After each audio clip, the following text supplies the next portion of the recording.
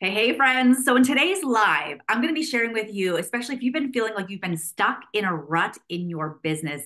Comment rut if you are can relate to that in any way. But here's the thing in today's video, I'm going to share with you how to discover the simple steps to reignite that passion and productivity inside of your life and your business again. Basically, getting or helping you to get from where you are at today to where you want to go in terms of really becoming obsessed. Like my intention for you is to become on fire, to create that passion, that excitement, that energy that maybe you feel is missing right now, or you haven't really had that, or you kind of lost your mojo in a way. But here's the thing my intention for you is become obsessed, become obsessed with your target, become obsessed with your vision. Because here's what I find is that a lot of the times, people, especially entrepreneurs, lack urgency. And when we don't have the urgency or a sense of that we're making progress day in and day out, we tend to like feel defeated, right? And want to throw in that towel. So I want to help you check in with yourself today. I'm going to actually be sharing with you again a couple different steps, some action taking steps, some practical strategies that you can actually do today. So make sure you stick around. Make sure if we're not yet connected yet, um, make sure we connect, follow, subscribe um, if we're not yet connected, because I'm going to be sharing with you more tips and tricks and strategies. So if we're meeting for the first time, welcome. Hello, my name is Melissa Kibler, and I was a former teacher turned entrepreneur, really figuring things all out along the way, diving deep into mentorship. And now I coach, gosh, I think it's been thousands of people now in the online space, entrepreneurs, network marketers, affiliate marketers, to grow and scale a profitable business online while enjoying the process along the way, right? Like not just showing up and doing the do, not just hustling and grinding, although hard having a hard work ethic is really, really important, but also to create some meaning, a sense of joy, a sense of fulfillment in the things that we're doing. So I want to help you get back to that. Is that okay if I help you do that? Let me know. But so here's the thing I want to get right to it. So, in terms of how do we get from where we are to where we want to go? And this is kind of that self assessment, a little bit of a check in for you right now. Make sure you have a piece of paper or a pen somewhere to write notes because I want you to not just sit in listen only mode, but if you're driving in a car, make sure you can come back to this and re listen and really create some space to do the work that I'm going to be sharing with you. Some really, really simple shifts and strategies that you can start to implement and incorporate in your business today. So I want you to think about your future self, kind of think about like where you're going, that future self. And sometimes, I don't know about you, but I felt this, I know in the past, where it's not necessarily sometimes the business or my business that's burning me out, but life, right? Life's a, low, a roller coaster. There's always things that come at us. And I don't know about you, but sometimes we can get caught up in being in reactive mode, kind of letting you or allowing your schedule to run you rather than the other way around. So I want you to right now just stop, right? And I want you to think about how are you currently showing up right now? Kind of take a look at that future self. Is this the way how I'm showing up, how my future self, how I see myself in the future showing up? Because in the end of the day, they're the, they're the same person, right? They're the same person. So we can start to do some of those things now. But I want to really have you start to get some clarity and think about what standards do you have for yourself? What standards have you set for yourself? Because everybody, I would hope, has their own standard in life. And you're going to know, right? This happens in life, this happens in your health, standard of kind of your relationships, business goals, your finances, all those buckets, right? All those areas. I want you to identify and really think about it. Maybe you haven't ever thought about this before, but what's my standard in this area? What's my standard in my finances or my business results? Am I there? And if not, then um, this is what I'm going to share with you moving on is like how how do we identify that? How do we get some more clarity? But first we have to understand where are we at so we have something to measure. We have something to operate off of. And when you identify what that is i want you to ask yourself here's the next question is what is going to be your non-negotiable? So maybe just maybe just stay with me for a second. Maybe you're like okay this is the standard that i set my for myself but as i'm really being honest with myself today I'm realizing that my actions, my behaviors, the things that I'm doing are not up to par. They're kind of down here, although this is the standard that I'm saying and that I see for myself. So, as you can see, there's a disconnect, right? There's a disconnect But what I'm asking you to do today is ask yourself, today we're going to draw a line in the sand. Today's a new day. We're not going to be digging our heels anymore in this avoidance, in this resistance, in whatever it is that we're feeling. It's over. We're done. We got to stop that, right? Are you ready to stop that? Put stop. Let me know. Engage with me. Put stop um, in the comments. If you're like, yes, I'm ready to draw the line in the sand today. And ask yourself, what is my non negotiable going to be? Because I'm telling you, my friend, and I'm sure you already know this, this is probably, probably just a reminder but it takes extreme ownership, it takes discipline, it takes commitment, and most importantly, it takes action. It takes you actually doing the do and creating some healthy habits. So it's not just a one off. It's not just, I'm going to do this one time and maybe you find some success in it, maybe you don't. But what I want you to create for yourself is we got to start creating these habits if they're not apparent, or maybe you're doing something that's habitual that's that's something that it's a habit of yours but it's ineffective. So that's where we also need to do that self-assessment in the things that we're doing or not doing. Is it working for you? Is it effective or is it not effective? Because that's kind of the baseline. That's where we need to start that foundation because in those moments of the hard times in those moments of the pain and the struggle you know what's really really awesome you know, it's actually really, really empowering for yourself, hopefully, to start thinking about in this moment of time is we get to choose what we want to do in those moments. Do we want to sit in and continue on in victim mode or stay where we are? Is that the standard? But I'm guessing if you're on here, that's not, and you hold yourself to a higher standard. And I love that about you. And that's that's how I see myself as well too. So here's what I'm saying, and here's what I don't want you to misinterpret is it's important to rest. Everybody has like these seasons of life, right? That we go into. And it's important to rest, but it's also important not to stay there. It's important to rest get the rest that you need, take care of yourself, you know, giving yourself that self love.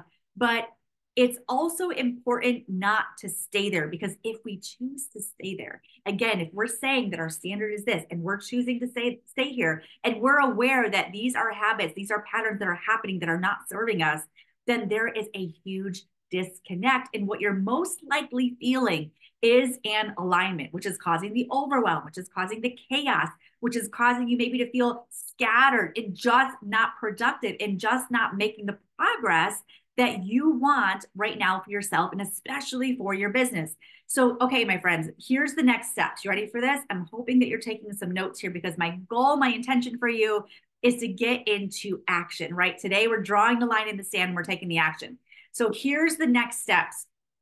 You're a go getter like me and you feel like you are wearing all the hats and you feel like you are spinning all of the plates and you feel like you just want to attack all the things and get them done like yesterday, let me know if that is you. Here's what I want you to do. Here's my suggestion. Here's my advice. Here's what I recommend. I need you to choose and ask yourself, what is the priority? Because not everything can be a priority, right? Because sometimes you might be also, if you're everywhere, right, we're busy but not productive. So we find ourselves, you know, busy but not productive. We find ourselves um, kind of 99% in, but not all in because I mean, how can we be, right? Our mind multitasking all things we know it's like kind of proven it, it really doesn't work, even though we can say I'm a great multitasker. Like it really isn't as effective. So I want you right now today, ask yourself, what is the priority? What do I really want right now? And ask yourself, what do I really want in my life? What is it? Because because you know why that's important is because when you ask yourself, what do I want in my business? I would hope that whatever it is that you want in your business, whatever it is that you're working towards, aligns with those life goals. That's when you know when you're when you're you're in a sweet spot. That's when you know you're kind of in this flow. You're going to feel more of this work life balance. You're going to feel more of this you know alignment and things just come. I'm not going to and i'm not saying that there's not going to be hard days. There are but when we have that clarity when we have that focus when we know that we know that we know what the priority is that's going to take precedence above all the other things like we're going to make sure we fit it in we're going to make sure that that becomes our non negotiable behavior, habit, activity. and work that in day in and day out, I'm telling you, friends, your life, your business will change. It just will, right? It's only like time will tell. Like it, it, it will change. So here's the next steps. I want you to identify when you identify what that priority is, and you might already know this. It's like, okay, I want to build my business, or I'm looking to, you know, again, I work with a lot of entrepreneurs, network marketers, affiliate marketers. So maybe you have a financial goal. Maybe you have a rank advancement goal maybe you know the thing, the money making activity that you know you need to be doing in your business, but you're just not doing it. Again, no shame, no judgment. That doesn't get us anywhere. I want you to stay with me. I want you to stay in the present moment and we're getting into problem solver mode. That's what great entrepreneurs do. We are problem solvers. We're managing the mind up here. We're not allowing that to get in our way and get into the weeds and focus on the past. We're focusing on today. We're focused on present moment and where we're going, right? So once you choose the priority, here's what I want you to do. Say your priority is to uh, rank advance or it is to hit a certain income goal. We all know that we cannot focus on the results. If we focus on the results, we're not going to get anywhere. What we need to be doing is focusing on what are the specific behaviors? What are the specific actions that we need to be doing to then hit that result? And when you identify what those are, again, keeping it as simple as you can, the minute that you start to feel overwhelmed creep in, I'm telling you, it might be too much. You might be unnecessarily putting or putting that unnecessary pressure on yourself. You might be adding more on your plate than than you really can handle right now. So we got to get real. We got to get honest with ourselves, okay? So I want you to think about what's the priority and maybe if you identified what that is, you're like, okay, the priority, I'm just giving you an example here. Maybe the priority is I know I want to be building my business online. I want to put out content that reaches my ideal buyer where I'm able to get, you know, quality engagement and things like that. But the breakdown, here's the other thing. You have, you have to identify when you know what you're doing that you're not doing, identify and ask yourself, where's the gap? Where might the breakdown be? What might what is my resistance? What's the resistance going on here? What am I truly avoiding? What am I procrastinating? And let's get really real with yourself because we need to name and label these things in order to push through. And um, when you identify what it is that you want to say it's the, the area of content when you're like nope i know that i want to do this when you identify kind of what's getting in in your way or what's getting in the gap i want you to ask yourself um, i actually want you to become so hungry and so obsessed with your goal and in where your target is, like where you're going. And I need that to be, you need that to be bigger than that fear of failure. You need to be, have that be bigger than that procrastination that's happening, the stories, the lies that you're telling yourself that's not serving you, all of those things. And I want you to become so obsessed. I want you to become a master at that. I want you to want that for you. It's kind of like that competition within yourself.